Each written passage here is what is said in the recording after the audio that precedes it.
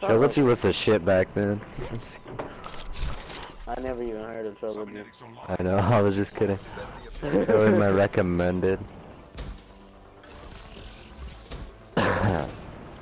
Who are you? No, I'm just kidding.